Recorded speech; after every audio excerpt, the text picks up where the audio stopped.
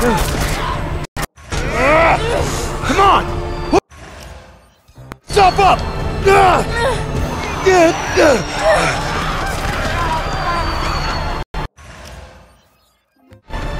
Keep your eye on the prize.